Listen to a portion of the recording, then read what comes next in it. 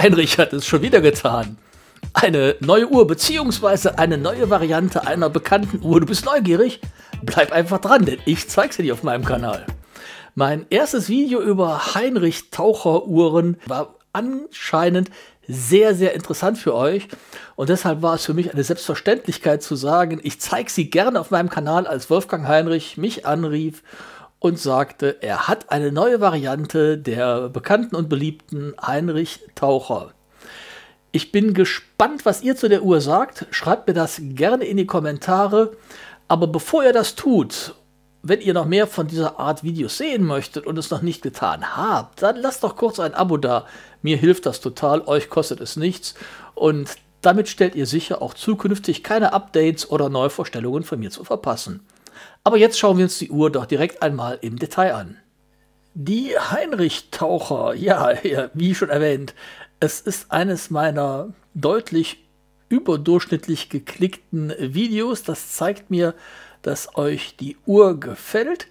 Und deshalb freue ich mich total, euch heute ein Update zu der bereits erfolgreich am Markt etablierten Heinrich Taucher 1 geben zu können.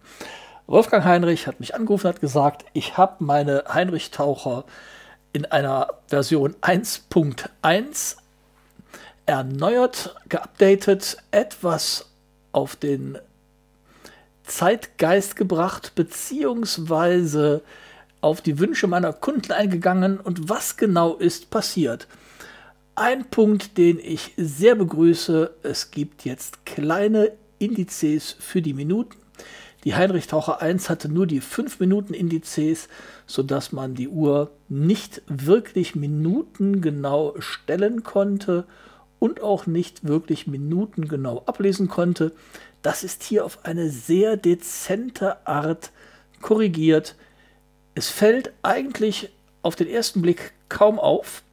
Sie hat das wirklich gleiche Design wie die Heinrich Taucher 1, aber mit Minutenindizes, die sich sowohl hier oben im Glas widerspiegeln als auf dem Ziffernblatt sichtbar sind. Durch das Glas werden sie wieder, wieder gespiegelt, weil das Glas ein kleines bisschen übersteht und das ermöglicht eine Reflexion einzufangen der kleinen Indizes auf dem Ziffernblatt.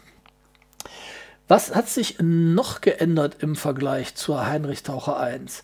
Die Heinrich Taucher 1.1 wird nur in einer Version ohne Datum angeboten.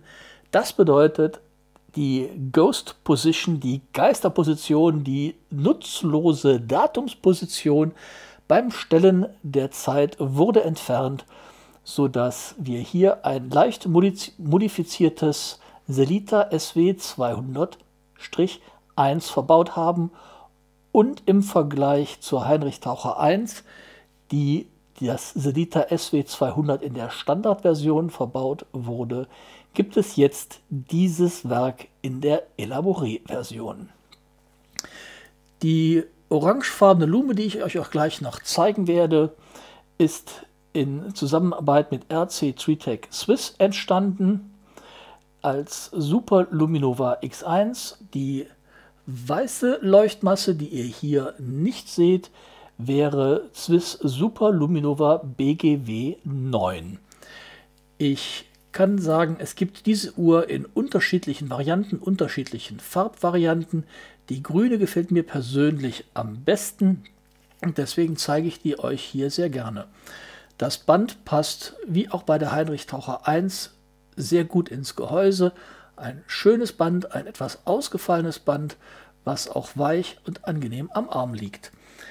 Wie bei allen Uhren meiner neueren Videos zeige ich euch natürlich auch, wie die Zeiger gesetzt sind.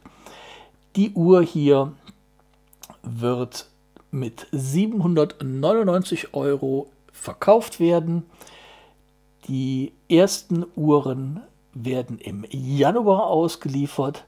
Bei der Auslieferung der zweiten Charge mit allen vier Farben wird es wohl Mai werden.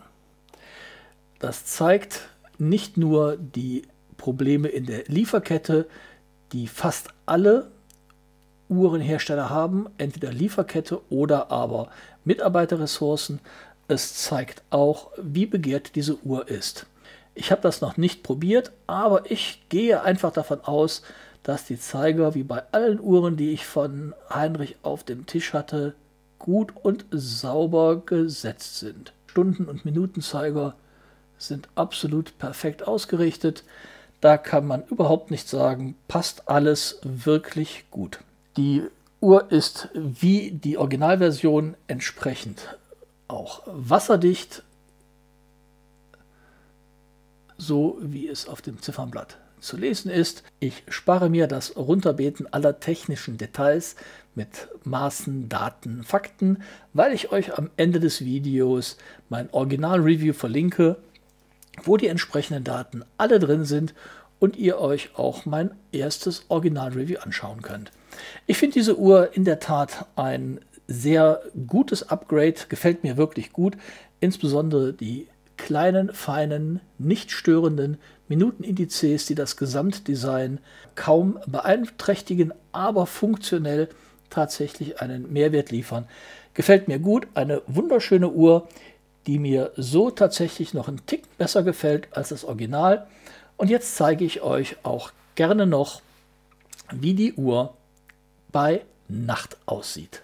So, das Licht ist aus. Wir beleuchten kurz die Uhr, damit wir auch ein entsprechendes Nachtbild haben und schauen uns die ganze Uhr einmal an. Ihr könnt sehen, meine Handschuhe sind noch sichtbar. Es ist noch nicht mal richtig komplett dunkel und trotzdem ist die Uhr richtig toll ablesbar. Wirklich schön, klar, deutlich. Mir gefällt das richtig gut. Ich mag die großen Punkte. Ich mag auch die Reflexionen in der Kante des Saphirglases, was übrigens ein abgerundetes Saphirglas ist, keine facettierte Kante. Zeiger gut lesbar, Indizes gut lesbar und das aus einem sehr breiten Blickwinkel. Klasse Uhr, super, gefällt mir sehr gut so. Bleibt gesund, erfreut euch an euren Uhren und freut euch auf meine nächsten Videos. Tschüss, Ajax'ı.